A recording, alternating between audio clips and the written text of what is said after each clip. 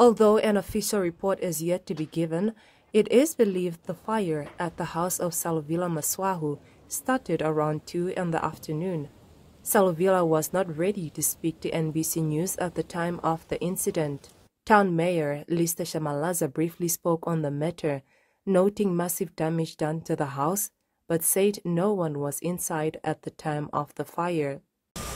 Which has been started at the side of the main bedroom, but the instance is still unknown what caused the fire, the instance of all the items. There's nothing that has been taken out.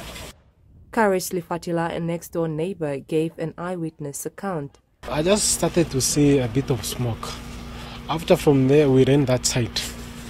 We opened the gate. After we opened the gate, ne, we saw that ne, there was the fire.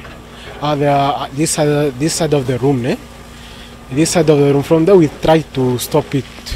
From there, after this other friend of mine called the firefighter. From there, they arrived at the light stage. Juliet Siveso, NBC News, Katima Mulilo.